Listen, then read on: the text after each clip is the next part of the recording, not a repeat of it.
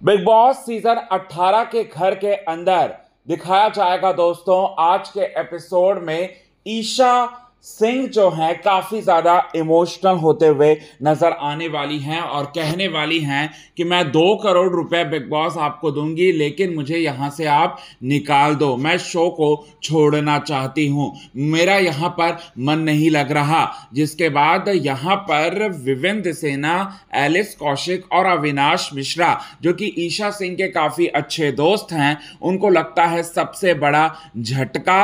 और साथ ही साथ वो लोग ये सोचने पर पर मजबूर हो जाते हैं कि ईशा सिंह के साथ ऐसा आखिरकार क्या हुआ, जिसकी वजह से ईशा सिंह ने इतना बड़ा स्टेटमेंट जो है पास किया। आइए आप सभी दर्शकों को बताते हैं दोस्तों कि ईशा सिंह ने ऐसा क्यों बोला। लेकिन इससे पहले अगर अभी तक आपने हमारे YouTube channel quick TV news को आपने सब्सक्राइब नहीं किया है दोस्तों तो सबसे पहले क्विक टीवी न्यूज़ को आप सब्सक्राइब कर लें। बेल आइकन के घंटे को आपने नहीं दबाया है दोस्तों तो बेल आइकन के घंटे को आप ज़रूर दबा लें। बिग बॉस 18 का घर। और साथ ही साथ, ईशा सिंह जो हैं, काफ़ी ज़्यादा परेशान हो चुकी हैं, क्योंकि बीते दो या तीन दिनों में घर में बहुत सारी लड़ाइयाँ हुई हैं। घर में बहुत सारे जो है, झगड़े हुए हैं, जिसकी वजह से ईशा सिंह काफ़ी ज़्यादा परेशान मतलब परेशानी फेस कर रही हैं। अब ईशा सिंह जो है, उस तरीके की पर्सनैलिटी, बिग बॉस 18 के लायक की पर्सनैलिटी जो है, वो बिल्कुल नहीं है। वो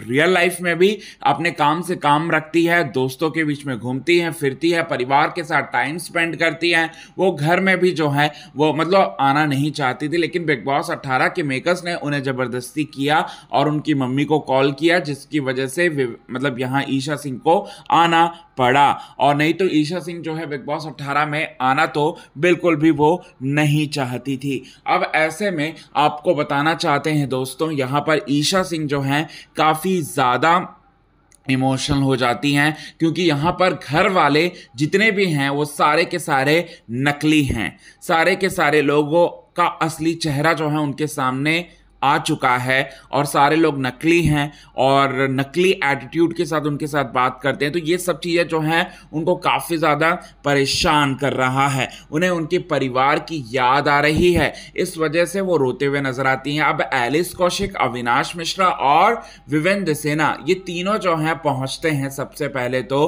किसी और के पास नहीं, बल्कि बताना चाहते हैं यहाँ पर ईशा सिंह के पास, जहाँ ईशा सिंह को समझाते हुए नज़र आते हैं और कहते हैं कि इस तरीके के लोग ही मिलेंगे। ये अलग तरीके का एक्सपीरियंस है हमारे लिए भी, तुम्हारे लिए भी, और तुम्हें इन एक्सपीरियंस से सीखना है। तुम्हें इन इस एक्सपीरियंस से सीख कर आगे बढ़ना है और अपने लाइफ में बेहतर करना है। ये बात जो है वो कहते हैं अविनाश एलिस कौशिक और साथ ही साथ विवेन दिसेना। तो ये चीज़ें आप सभी दर्शकों को देखने को मिलेगा अपकमिंग एपिसोड में। इसके साथ ही साथ आपको बताना चाहते हैं दोस्तों, यहाँ पर फिर उसके बाद ईशा सिंह जो है थोड़ा बहुत नॉर्मल होती है और नॉर्मल जैसे ही वो होती हैं, वैसे ही उन्हें हंसाने की भी कोशिश करते हैं।